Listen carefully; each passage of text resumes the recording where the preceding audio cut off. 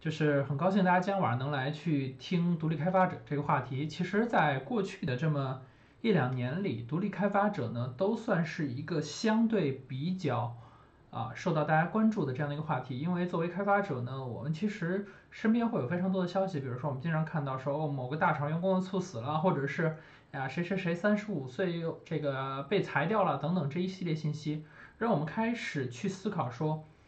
我们还有没有第二出路？那对于很多人来说，可能会都会第一反应是觉得说，哎，独立开发者听起来好像很不错，对吧？之前好像听谁也大致说过，说好像有独立开发者这么一回事儿，但具体要去怎么做啊之类的，可能也没什么想法。所以呢，对吧？到具体落实的时候，就会遇到很多坑。包括其实我昨天还在我的公众号上面去推了一篇，啊，就是关于独立开发者会踩的一些坑的这样的一篇文章。对，其实。对于很多人来说，独立开发者这个事儿其实并不是一个特别简单，而且它其实是需要一个非常长的周期来去做准备的一件事儿。所以呢，今天呢也算是跟大家去聊一下整体的这个心路历程，然后让大家对于说这个事儿的漫长的周期有一个心理预期。然后呢，如果你希望在未来的某一个时间点去达到说我成为独立开发者的这样的一个指标或者说是目的也好。然后呢，你可以在现在就开始去做准备，然后呢，直到在未来的某一个时间节点，对吧？你达到了你的这个目的，然后成为了一个独立开发者。好，那今天呢，总体来说就是一个分享一些简单的经验，然后就是再跟大家聊一下这里面的有一些可能一些常识性的错误之类的。好，那接下来我们来看一下啊今天的分享的内容。首先呢，肯定是先简单聊一下我嘛，对吧？呃，大家来听的话，肯定是还是要基本的对我有一个简单的熟悉。那如果你对我比较好奇呢，其实啊，你可以知道对吧？我的名字是白焕成，然后你也可以在各种搜索引擎上搜我的名字，那你大概率呢都会搜到很多和我相关的一些文章，因为呃我这个名字还算比较好，就是大概率你在互联网上很难找到第二个。当然你如果搜到这个名字，搜的大概率来说呢，这些内容都是和我和我自己强相关的内容。那当然，我自己其实除了独立开发者这个身份呢，也有很多不同的身份。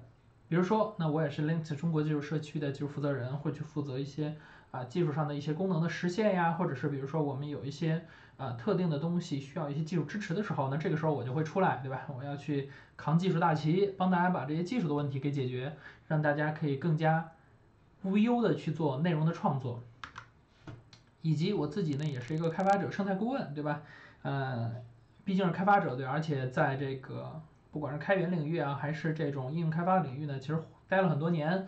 那对于很多的企业，他们如果说想要去做一些和开发者相关的事情，那我毕竟能够给出一些开发者的视角的一些观点和建议，能够帮助他们去更好去做他们自己的开发者生态的建设。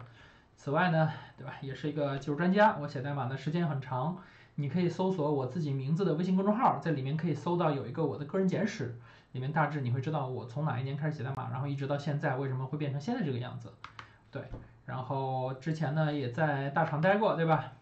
也是很多开源项目的这个作者或者管理者。总的来说呢，其实呃我过去做了很多事情，也正是我过去做的这么多事情，对吧？让我自己成为了这样的一个啊。独立开发者啊，当然刚才有是有一个 title 忘了说，就是我自己还是阿里云的 MVP，对吧？那这个 MVP 呢也会给我带来一些啊不同的事情。当然这个的话，我们可以稍后具体再去说。那做完一个简单的基本自我介绍，对吧？那我们回到一个最常见的问题，也是我今天在内容里面放的，就是说自由职业者和独立开发者的一个不同。因为其实很多人他们觉得。独立开发者就是什么呢？就是对吧？你可以不用企业去做班了，然后你可以全世全世界啊到处出去玩啊，各方面的。但是我其实会觉得说，这个不是独立开发者最核心的特性，它其实呃更多是说这样的一种工作状态。那自由职业者和独立开发者其实都可以达到那样的一个生活的一个状态。所以在这种情况下，就是我们要去细分，可能说对于大家来说，二者并不一定每一条路都适合你。那首先，我们先来去看一下，说他们的不同点到底在哪儿？那这里呢，我选了三个不同的啊点为例子。第一个是企业职工，对吧？那其实可能也是现在大家绝大多数的点，就是觉得大家绝大多数的一个状态，就是啊，你是作为一个企业职工而存在。那作为一个企业职工呢，对吧？你会有一个明确的雇主，你的老板是一个很明确的人，对吧？你可能比如说，啊，今年我到这家公司工作，那我的老板是谁，对吧？是公司法人也好，或者说是什么样的人？但总的来说，你是有一个明确的人，然后你和他会签立一一个劳动合同，对吧？我们大家作为这个职工，对吧？你有一个劳动合同，然后这个劳动合同呢约定了你们的工作期限，在这个期限内，你就要为他去做工作。那这个呢是企业职工的一个很大的特性，对吧？其次呢是什么？是你不需要关注盈亏问题，对吧？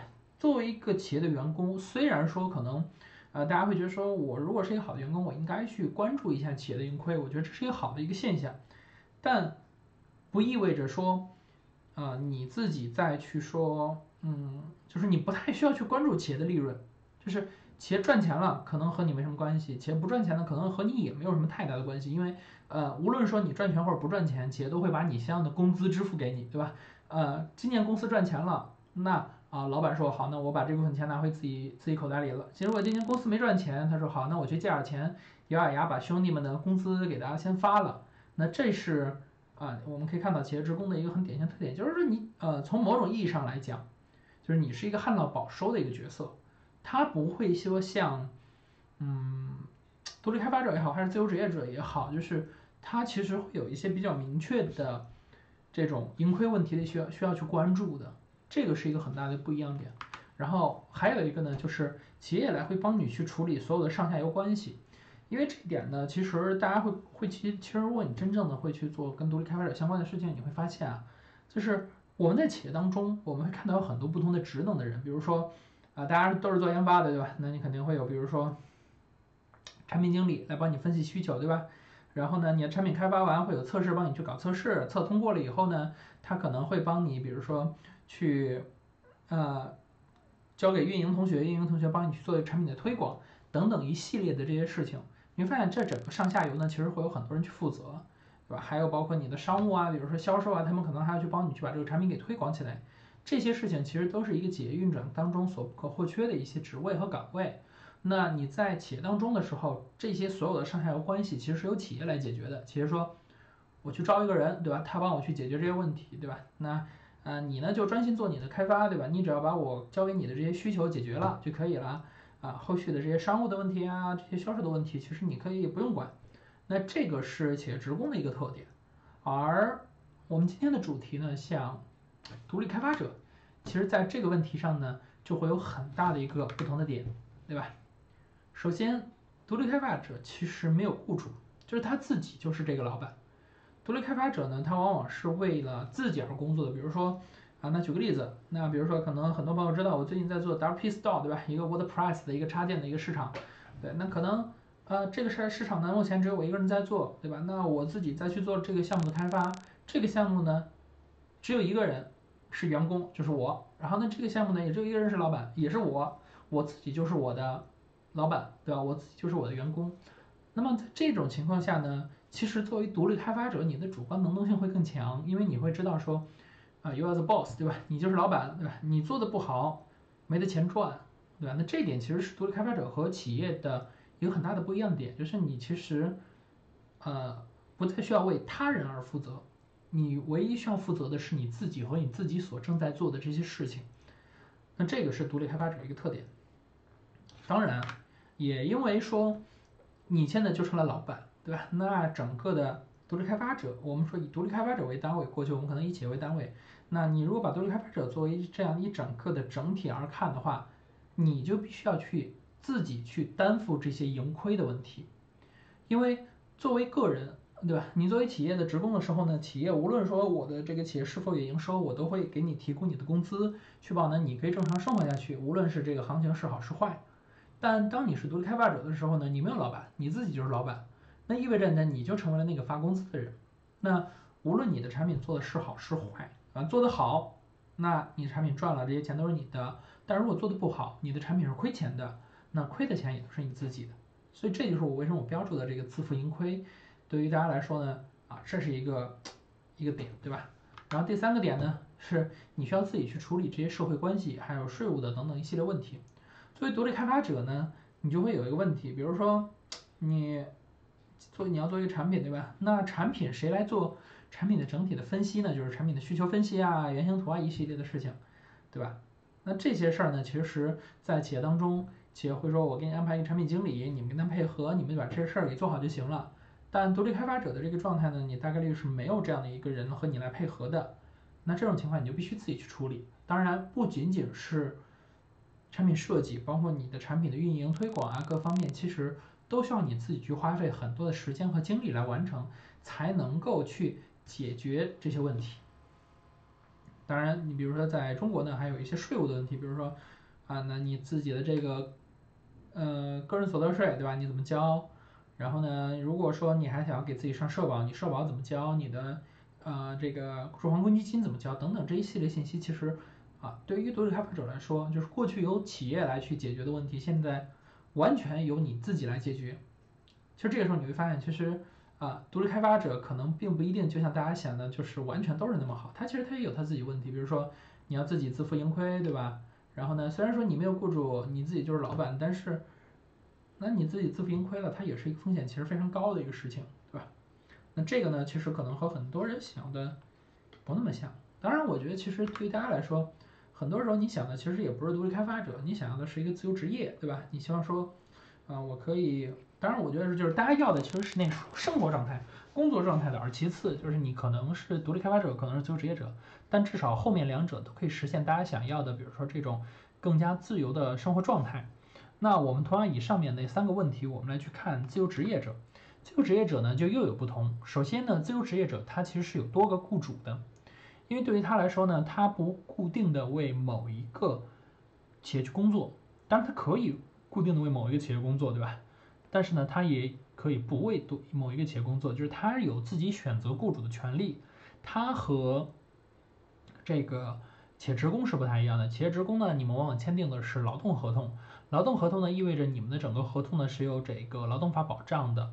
你的企业不能随意的把你给开除，当然你也不能随意的跑掉，对吧？那自由职业者呢，他们更多追求的是说我希望整个的工作生活上都能更自由，所以呢，他会。和企业签订的其实是一个劳务合同，他们更多的关注的是工作量，对吧？那这个时候我可能同时会有多个雇主，我会同时为多个企业来去工作。当然，你可以为多个企业工作，企业也可以随时把你给换掉，对吧？这个也是一个啊自由职业者的一个风险的点。其次呢，就是自负盈亏，对吧？那它和它虽然说可能和这个。啊，自由职业者差距就是说比较大，但是它和这种企业的这个啊企业的职工来讲呢，它其实还是有一些自负盈亏的点，就是说你在企业内呢，整体来说其实你是没有什么太大的这些生活成本，就是你生活成本基本上能够在你的工资上去 cover 的。但是呢，自由职业者呢，因为你的这些生活的盈亏可能他说你可以自己解决，但是如果你的雇主不稳定。对吧？比如说你可能你一个月三十天，你只有十天别人会找你去做事情，剩下二十天别人都不去找你做事情。在这种情况下呢，剩下这二十天的成本你就必须自己来去承担。那这一块呢，其实对于很多自由职业者来说也是一个风险点。包括很多自由职业者为什么在刚刚开始的阶段的时候会非常大的压力和焦虑？也就是说，在一开始呢，其实他不太明确说我能做哪些事情，以及我能够赚多少钱。这会导致他在整个开始的阶段呢，不停的去做事情，不停的赚钱，来去让自己有足够的底钱来去能够解决，比如说可能一个月就没有人来找我去做事情，在这解决这种情况的问题。所以这个呢，其实是自由职业者的一个点，以及还有就是自己要去处理社会关系和税务，和对开发者一样。对吧？你有一个雇主的时候呢，雇主会说，那你跟我签一个劳动合同，对吧？但是你没有雇主的时候呢，雇主你就就是自由职，这独立开发者，你就要自己给自己签合同。然后自由职业者呢，你是和多个雇主去合作，然后雇主呢可能也不会给你去签劳动合同，这种情况你就必须自己去解决税务啊等等一系列的问题。不过一个好处的点是，自由职业者呢，往往他的工作其实是会给你提供一个基本的对接人的，比如说你是做研发的，那。对方呢，一般来说最起码给你配一个产品经理，对吧？他给你提需求，然后你来实现。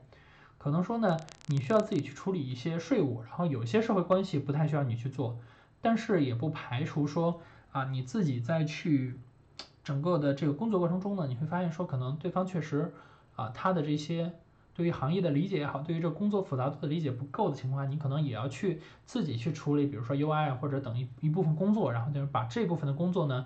包含在你自己的报价里，然后呢，去给他提供一个更加完整的解决方案。当然，这个可能对于很多人来说其实是比较远的，因为它其实啊，相对我们说就更加的高级一点，就是它会需要你能做更多的事情。总的来说呢，其实我们刚刚跟大家去介绍了说，企业职工也好，独立开发者也好，还有这种自由职业者也好啊，不同的问题。那这些问题呢，其实对于大家来说都是一个可以思考的点，就是到底哪一种适合我，对吧？因为呃。各种工作也好，其实各种不同的工种也好，不同的工作也好，其实都有自己的好处和坏处。比如说，我们说以企业职工为例，那企业职工的一个很典型的好处就是，它的各项的成本啊、收入其实是由企业来承担的。你作为一个个人，其实你不太需要去担心盈亏的问题，对吧？那在这种情况下，它就会极度的安逸。对吧？我们当然，我们这个假设的前提是你所在的企业是相对是比较稳定的，对吧？你可能不会说像啊去年的这种在线教育直接整个行业被干掉，对吧？那在这种情况下，你的这个方向可能是一个非常稳定的，你可能可以在这家公司工作很多年，这是一个最基础的一个状态，也是大家目前大概率存在的一个状态。然后另外一块呢，就是说啊，把这个风险各方面都拉到拉满，对吧？我们说把杠杆各方面拉满，那你就是独立开发者。那你需要自己去处理几乎所有的事情，当然这块呢，其实我自己是这样的一个观点，就是独立开发者呢，他说的是说哈，你是一个独立开发者，你还是个个人，但其实本质上来看的话，你会发现独立开发者他其实就是一个创业公司，唯一不同的就是说呢，这个创业公司可能人比较少，对吧？可能就你一个人，然后你一个人要做所有事情，但你所做的事情其实和一个企业在做的事情没有太大的差距。然后当然呢，还有就是自由职业者，自由职业者呢，他是把自由拉高了一点，但是呢，他也不会把风险像独立开发者拉的那么高，因为总的来说，你其实是为在为某一个或者某几个企业工作，那只要这些企业的工作是明确的，其实对于你自己来说，你的工作也是非常明确的，它算是在从企业职工到啊独立开发之间的一个过渡的一个阶段，从企业职工到自由职业者到独立开发者，它的这个风险是依次拉高的。当然，你风险拉得越高，你相应的收益呢，其实也会越高，因为你承担了对应的风险，对吧？你也提供了对应的价值，在这种情况下，你就会有更多的收获。好，那我们接呃说完了这些基本的一些啊不同的职业的一些介绍以后，接下来我们来去看一看下一个话题，就是为什么你从现在开始准备。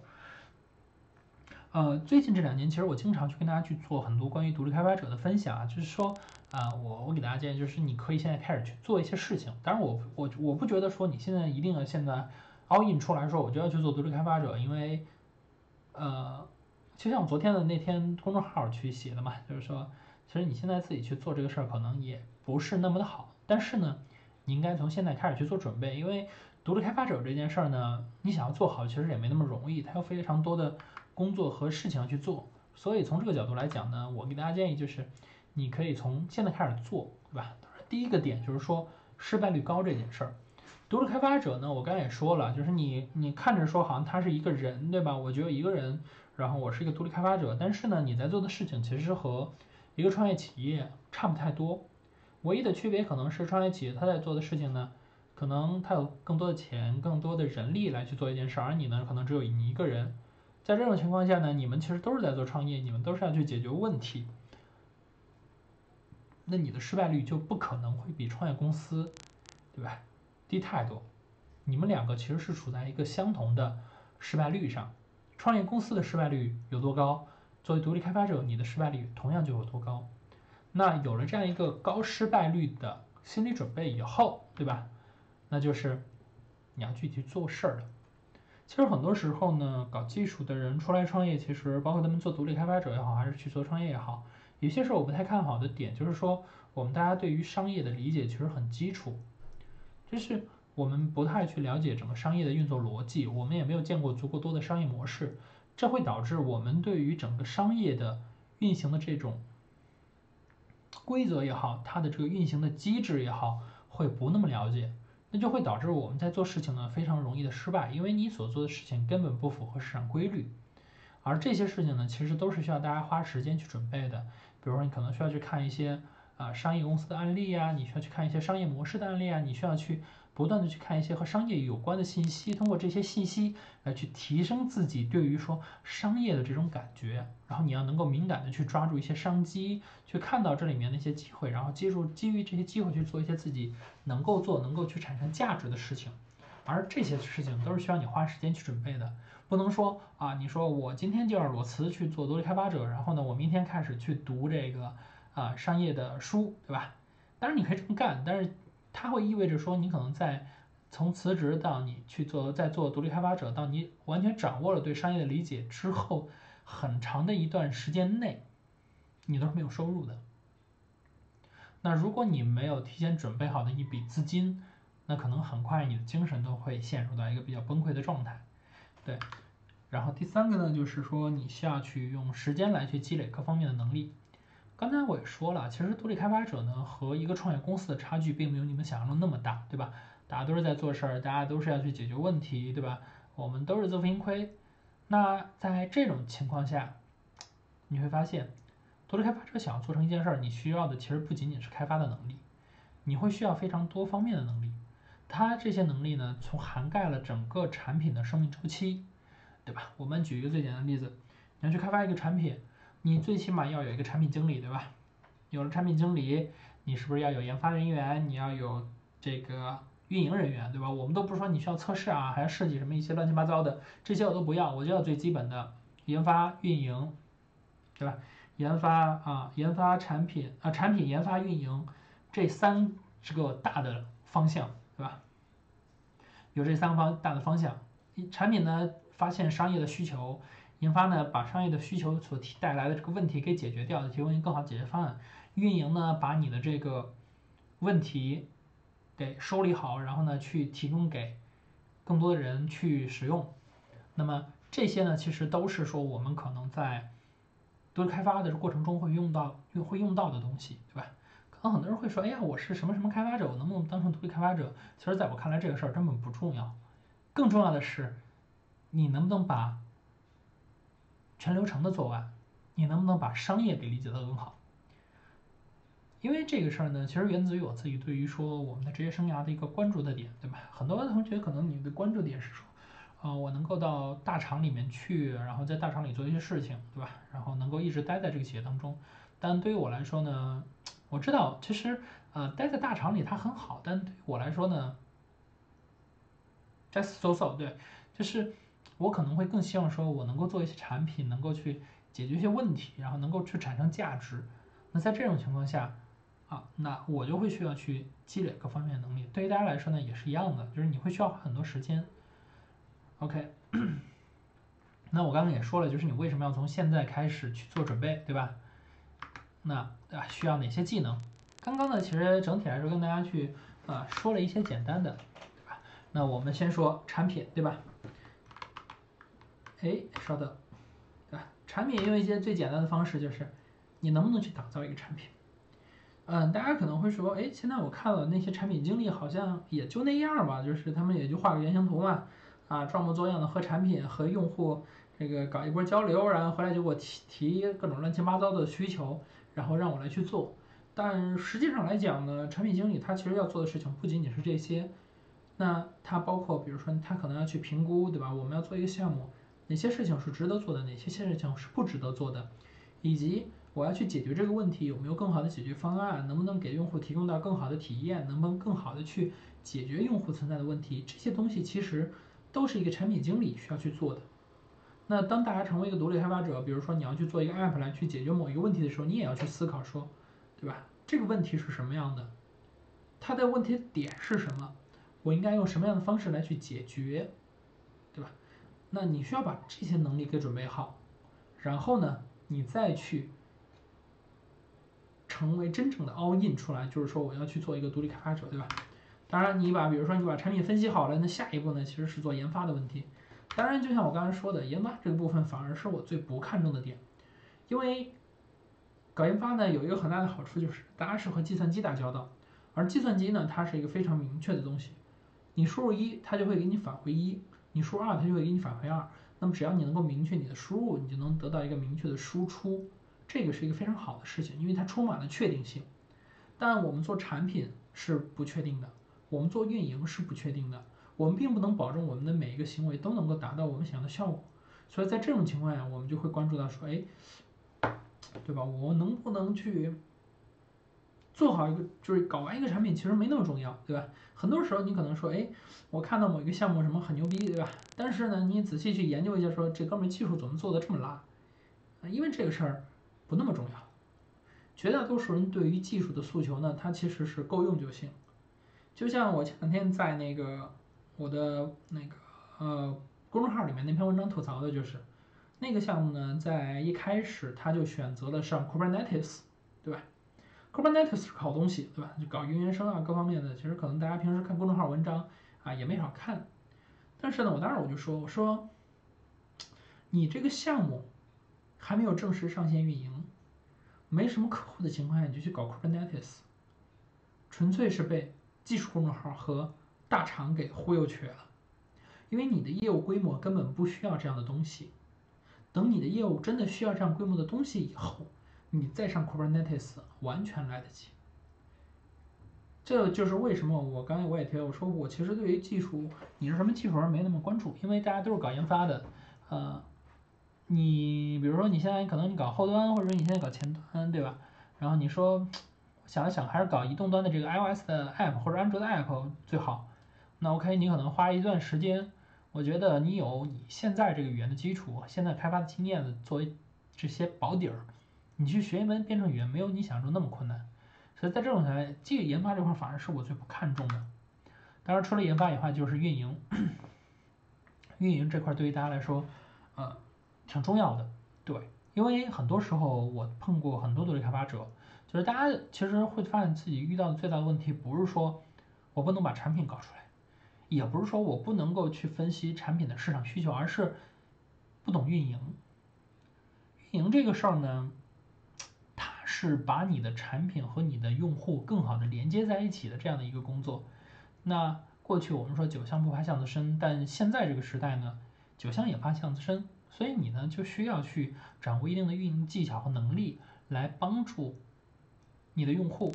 更好的去找到你的产品，更好的去使用你的产品，从而呢让你的产品可以被更多人所知，你从中呢去获取更多的收益。所有的这些其实都是需要大家去花时间去掌握的。运营呢，呃，我常跟别人比例，就是说产品和研发呢，就是一百万前面的那个一，啊，就是那个一，它是多少？而运营就是一百万后面的那个零，你到底是十？还是一百，还是一千，还是一万，取决于你这个运营有多牛逼，对吧？你这个产品在有一个比较好的基础之上，你给提供了非常好的运营能力，能够让你的这个产品呢爆发出难以想象能量。如果你的产品非常好，但运营非常拉垮，同样的也会让你这个产品看起来像那么回事儿，但你真正去使用的时候，你会发现，哎，怎么所有人都在。对吧？就在逃离这样的一个产品，或者说大家根本不知道这样的一个产品，其实这些都是有可能预见的。而这些东西其实对大家来说都是需要花时间去练的，对吧？然后呢，我们回到就是我们前面主题，刚才其实我说了失败率很高，对吧？那你会发现，如果一个事情失败率很高，又需要很多的能力，那一定能够得到一个结论，就是现在呢，我可能不是这样的人，但是。我应该从现在开始准备，我现在呢去慢慢做一些这些事情，然后呢逐渐的让我能够去达到这样的目标。所以从这个角度来看，我这也是为什么我今天的这个啊主题，一方面呢叫长路漫漫，对吧？因为这个路径确实很长。另一方面呢，就是为什么我会这样放说，为什么你应该从现在开始准备？因为你可能从现在开始准备，到你真正能够说。依靠独立开发，离开你现在的企业，去过上一个更加自由的生活，可能这个中间的时间的差距会是三到四年，甚至是更长的时间。但是呢，如果你现在不开始准备，你等到比如说某一天你说，哎，我突然被裁员了之后，我再去思考说，我要不要成为一个独立开发者的时候，可能就没有意义和价值了。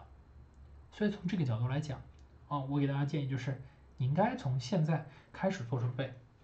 好，那我们今天的这个分享呢到这里，主体的内容基本上就已经结束了。大家可以看看有没有什么问题想要问我的，然后我也可以看一下刷一下大家的问题哈。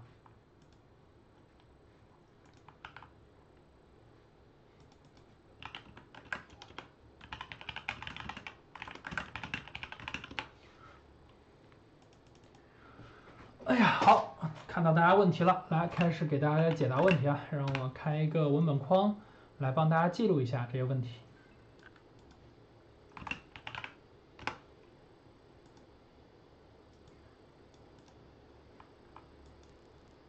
哎，点进来。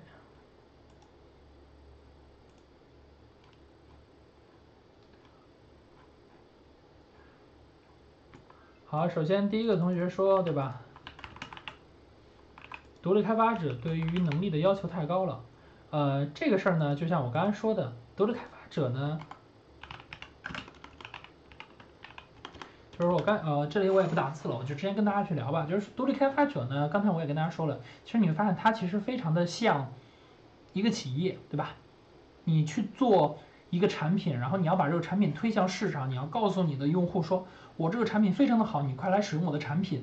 这些东西其实都是非常综合的能力。这也是为什么，就是说我刚我在里面其实也给大家建议，就是你可能不是不一定适合独立开发者，或者说你想要成为独立开发者，你需要花很长的时间来做准备。当你把这些能力做的差不多了，OK 了，然后你再全职出来去做独立开发。那在你没有准备的 OK 之前，你可以先以兼职或者业余的时间。去打造一些产品，真正的去体会一下，说我去打造一个产品，我把这个产品推广起来，我去让这个产品产生收益的这个过程。然后呢，可能你比如说你会发现你的头一年没什么收益，对吧？第二年呢，可能哎好像有那么几个用户开始给你买买你的东西，然后你觉得说好像还是还还还有点意思，然后慢慢的它你才会累积起来，因为。作为独立开发者，你和企业很，你和很多创业企业不一样的点是你没有钱去做这种大规模的增长，那，你做的很多事情都只能慢慢来。但是呢，慢也有慢的好处，就是当你的资源不足的情况下，你就可以认真的去思考，到底什么样的事情才是最重要的。然后第二个同学问到说，啊，要不要注册公司，对吧？注册公司这个事儿是这样的，啊。我个人的觉觉得啊，就是公司这个事儿不一定要注册，啊，它其实看场景，比如说你到底是因为什么原因要注册，比如说你要纳税，对吧？然后比如说你要社保，比如你要发票，对吧？这里面有很多东西，其实这里面。比如说你可能你现在的一产品，对吧？你需要解决这三个问题，但是你会发现说，我现在我的产品其实收益不是很高。比如说我一个月就能赚十块钱，然后我自己一发研究说，我注册公司我请一会计，一年都好几千块钱，那这种情况很显然就没有必要。然后呢，而上面的这三者呢，其实你是有很多方式可以解决的。比如说纳税呢，你可以搜，比如说什么五幺社保啊，对吧？啊对对，个人所得税其实你可以自己交的。然后社保这块是五幺社保。然后，如果你要开发票，你可以在微信搜，你可以搜我的名字，然后有个同名公众号，里面搜发票。在我的公众号里面呢，有一篇专门是有一篇文章来告诉大家，作为独立开发者也好，自由职业者也好，你作为一个个人怎么给大家去啊开发票。对，这个我觉得是一个啊比较重要的点。然后第三个点，呃，不同的领域上的这个开发者有什么太大区别，对吧？然后这块其实是这样的，嗯，作为国内这块呢，很大的一个问题其实是在收款这个环节上，就是国内其实你会，你仔细想一下，就是假设你要做自动化的，比如说我不需要人清醒，我就能够去从用户这边拿钱。其实是一个挺困难的事情，对吧？你比如说，你想微信支付，哎，好像要企业支付，对吧？要企业账号，对吧？然后，嗯，我要去这个做，呃，支付宝支付，是不是也要企业账号，对吧？这个其实是一个很大的一个差别，它决定了你能怎么向用户去收钱。包括这个呢，也是为什么你会发现国内的独立开发者很多时候都是应用的，就是移动端的 iOS 的开发者，对吧？为什么呢？因为在 iOS 当中呢，它的系统的 IIP 的机制给开发者提供了一个非常方便的收款的一个功能，这意味着你可以不需要注册一个企业，你就可以从用户身上去收钱。所以呢，很多时候你会发现国内独立开发者以 iOS 的工程师比较多，就是因为这个原因。然后我们再往下看一下，OK，然后好，那录像这块儿会有录像，呃，我们看一下下一个产品的收益这块儿有一个什么样的说明？呃，这块儿是这样的，如果你把独立开发者这件事儿当做一个兼职来做。我觉得你去看广告是可以考虑的，但是呢，说句实话，广告这个价格很难给你一个明确的指标，因为呢，它就像你在个人的博客上去挂一个呃 Google 的 AdSense 的一样，就是你会发现不同的人、不同的网站，它的网站的单次点击的价格是不一样的。有的人呢，他的网站可能主要面向的是海外的游客，那你就发现他的单次点击特别高。然后呢，有些时候你发现，哎，你的博客可能面向的都是国内的用户，你的单次的点击其实就不是特别的高。这些其实都是大家会在你真正去做的时候会发现的一些问题。而且从我自己个人经验来讲啊，我其实不是太推荐大家去做广告的这个模式，因为广告这个模式呢，有一个很大的问题是说，嗯，你需要流量。对吧？你比如说，你看你有一万日活，那你做到一万日活，这可不是一个简单的事儿，对吧？你做一万 DAU 这个事儿并不简单。那在这种情况下，如果说这个事儿需要买流量，那你会发现你买不过大公司和创业公司。大公司最有钱，他们可以疯狂的买流量；创业公司呢，他们也可以买流量，只是说他们可能不会买那么多，但他们都比你有钱，他们都可以买的比你更好。所以从这个角度来讲呢，我个人其实不是太建议大家，就是说你做兼职的情况，我觉得合理，对吧？你就用这种广告的模式去做是 OK 的。但如果你想要长期做，包括你想全职做，那广告这个模式不是太好。呃，比较出色的案例或者是一些工作的模式，我等等，我想想，刚才好像还有一个有一个什么消息，刚好还有一个消息来着，我刷一下。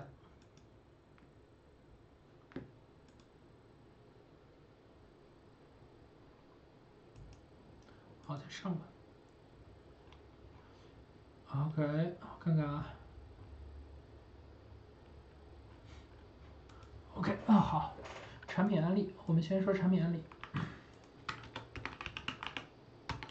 呃，产品案例的话，我自己见的比较多的是有几个吧。第一个呢是，呃，iOS 端的，iOS 端的，对吧？比如说熊猫吃短信。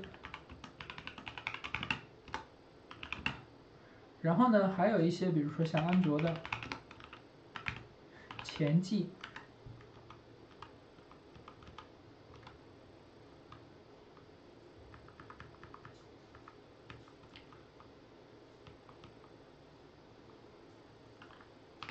然后 Web 端呢，其实有一个叫，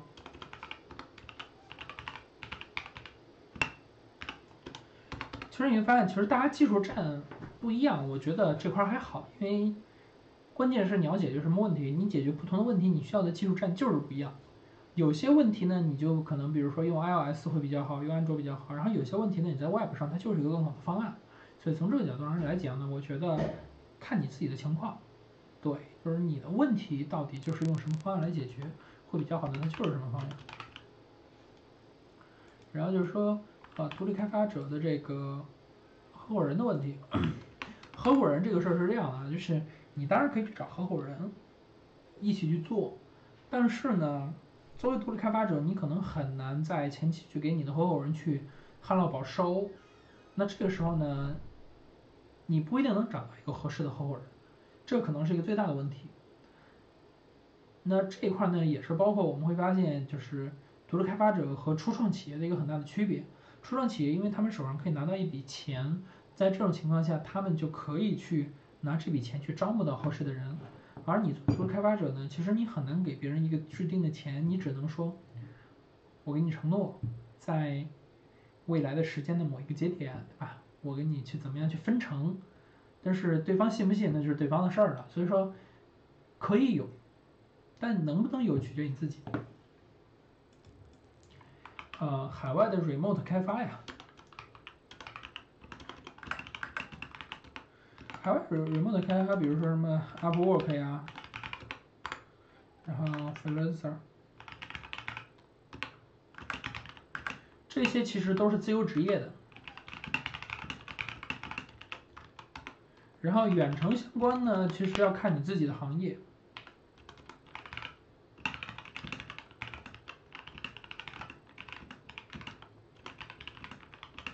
因为远程工作和自由职业又不一样，自由职业呢，它里面可能会有很多杂活，然后呢，你可以上 Upwork 或者 Freelancer.com 这些网站去找这种比较多的杂活来解决。但是你作为这种，就是你比如说你可能想要的是一个远程工作，你希望是为某一家公司去工作，只是说这个工作的状态是远程的，那可能你就要根据这个行业自己去找了。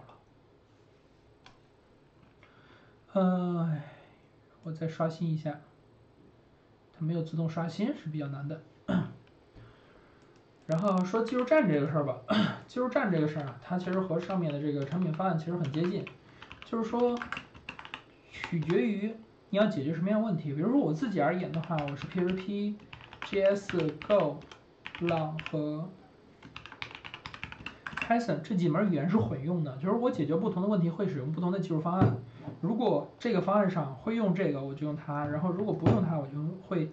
选择一个更合适的，然后在移动端的话，我基本上只写 Swift，因为我自己只用只用那个 Swift，我因为我自己只用 iPhone，所以说，嗯，我只学 Swift，我不太学那个 Kotlin 和 Java，因为我做的东西基本上我自己只有我自己会用，或者说至少是我自己先要用起来的，如果我自己不用的东西，我大概率就不会考虑去做。呃，第九就是说，呃，怎么说呢？首先，先要更正一个观点，就是独立开发者没有甲方，对吧？独立开发者你是没有雇主的，你说的这种接活是自由职业啊，或者我们说在技术行业这叫外包，对吧？但它其实是自由职业的一个方向。那在这种情况，其实是看这个项目的，就是这个项目它需要的技术更高，那你就需要有相应的基础。但如果这个项目就是说你能做一个简单的活儿就行，那其实也够。你比如说我自己大学的时候我就接过那种，嗯，外包的运维的工作，啊，那会儿其实也没有特别的牛逼，对吧？那会儿技术也是有限的，但是呢，它确实可以给你带来一部分的收入。所以这个事儿其实是看情况的，根据实际情况来决定。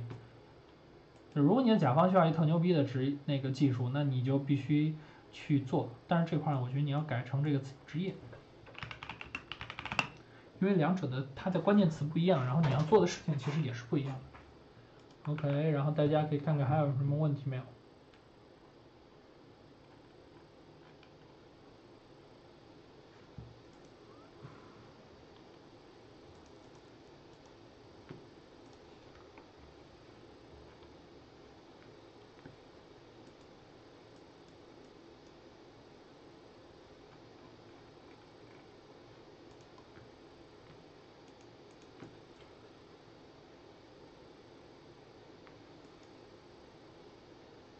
客户端还有机会吗？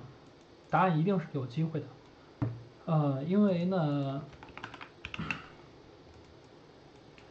大家的诉求远没有那么早的被解决，我们依然会有很多的需求能够被大家去解决。唯一需要的就是你需要把这个事儿能够做好。就是独立开发者这个事儿呢，它其实是一个很长周期的事情，你需要抓住某一个点。在这个点上不停的去做很深的研究，然后去给用户提供更好的产品，去解决用户的问题。你关注的其实不是客户端还有没有机会，你应该关注的是人还有问题吗？大家是否还在提问？如果大家还在提问，那客户端就依旧还有机会。当大家都不再提问，大家的所有的需求都被解决的时候，那个时候，客户端也好，服务端也好，前端也好，大家都没有机会。只要需求还没有被解决，我们就始终还有机会。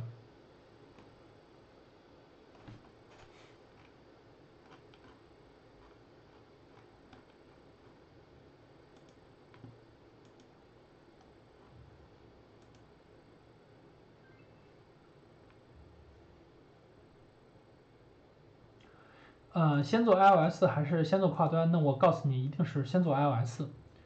就是跨端方案呢，它有它自己的优势，也有它自己的劣势。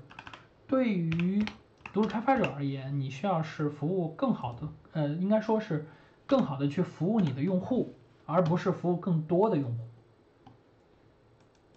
就是你服务更多的用户呢，他固然说，哎，我的这个总量是不是好像可以更高一点，对吧？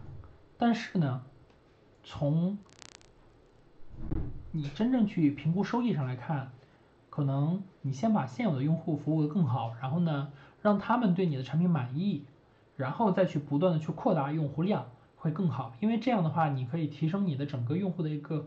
转化的一个转化率，而不是说让你的用户不断的在进来、在流失、在进来、在流失。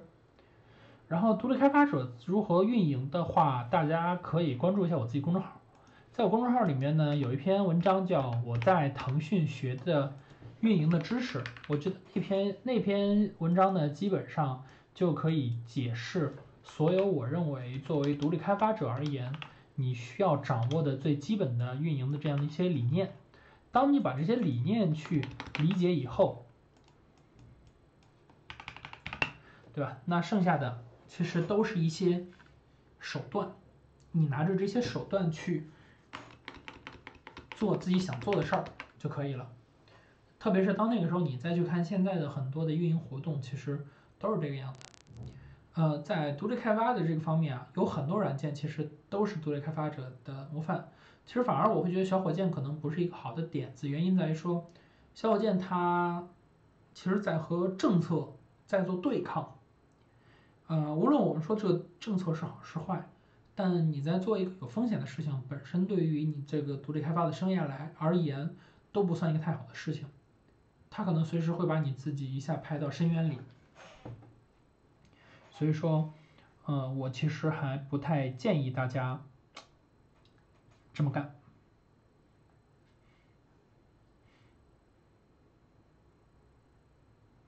然后大家有问题可以继续问。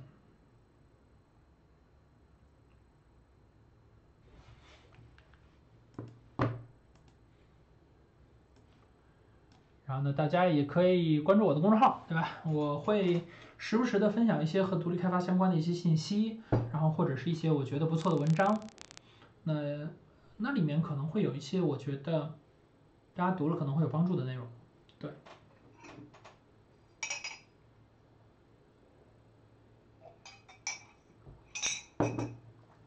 大家如果有问题可以继续提问，然后如果没有问题的话，那我们稍后就准备停止直播喽。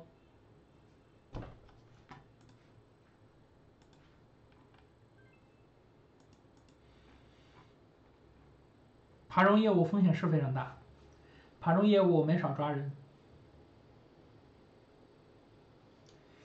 但凡是搞爬虫的、卖数据的，涉及到说这种对互联网信息、互联网新系统进行相关渗透工作的，都会有一定的安全风险，所以这块你要自己去评估这件事是否值得去做。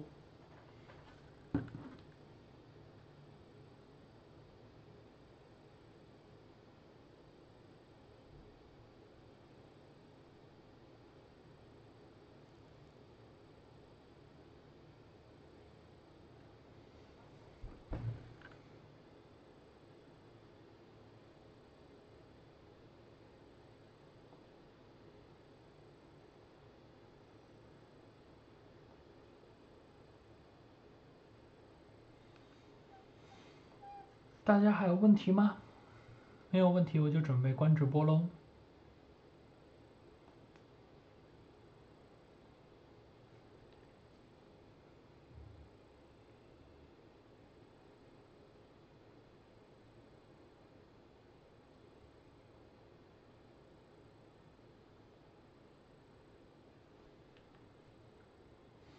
好的，那既然大家都没有什么太多要。呃，提问的内容，我们今天的直播呢到这里就结束了。然后呢，也欢迎大家关注我的微信公众号。如果你对于独立开发者有更多的想法，或者是 OK 啊，有一个问题了，说独立开发者用 Flutter 或者是 Java 怎么样？嗯，如果你这两门技术已经掌握了，我觉得挺好的。就是呃，你核心一定要关注一个点，就是用户想要的是解决问题，而不是某一个技术方案。他要解决问题，至于这个技术能不能解决问题，对吧？或者说你用什么样的技术方案，对用户来说呢，其实不太关注。用户不太在乎你是不是用 Flutter，他只在乎你有没有解决我的问题。用户也不会说你用 Java 我就不愿意用，他只会关注 Java 能不能解决我的问题。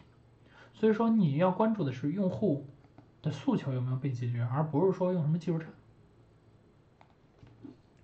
呃，独立做开独立开发者做小程序的风口，我觉得倒也没有说做错过去这个事，没有说过去这个事儿，只是说独立开发者就是说你做小程序呢，它有它自己的问题，就是因为小程序呢不能做虚拟收款，就是如果你不能解决收款这个问题呢，你大概率只能做流量，但是流量这个东西呢，就还是我前面说那个问题，流量这个东西它是会掉的，就是你要不断的去做一些运营的动作，去把你的流量拉起来，除非你有一些。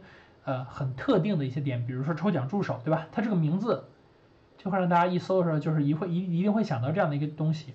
在这种情况下，它的流量是 OK 的。但是对于你个人而言的话，那如果你没有这样的好的点，它可能不一定是一个好的点，因为你可能没办法解决收款的问题，这是最大的点。最重要的是你解决不了收款的问题。如果你能把收款的问题解决了，呃，我觉得它的风口依然存在。或者说呢，对于大家来说，可以考虑用独这种小程序来去做一个前期的验证，就是我要去验证用户的这个需求是不是真实存在的，用户是不是真的需要这样的一个东西来帮助他去解决问题。从这个角度来看，小程序其实是一个很好的工具，因为它可以很方便的开发，很方便的推广。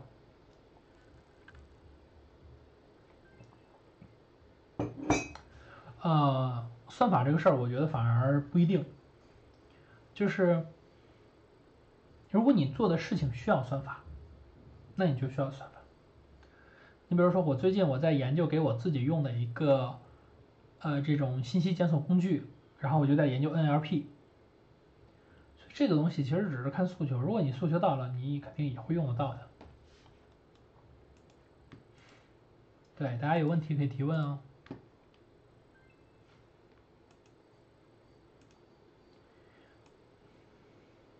呃，是这样的，就是设计这块其实是很多独立开发者都会去面临的一个问题，反而呢，是我自己，是我自己来去，呃，从我自己的角度来去看，其实是说这样，就是 UI 这个事儿，我们要区分开几件事儿，第一，好不好看，第二，能不能看。从作为开发者，比如说像我们大家这样的角度，我们大概率呢只能做到说这个东西能看，我们不求好看，我们只求能看。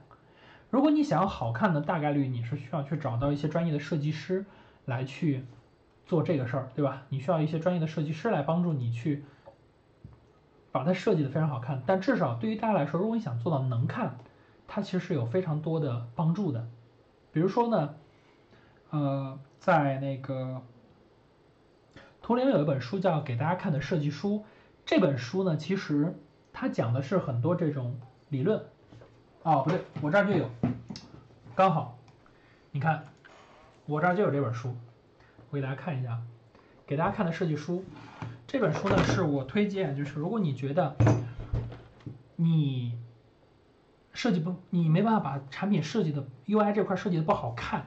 那我觉得你应该看这本书，它至少把你的书，它能它能帮助你把你的产品从啊这边的这个看起来很奇怪的或者说信息没有密度的东西，调整成这样的一个状态。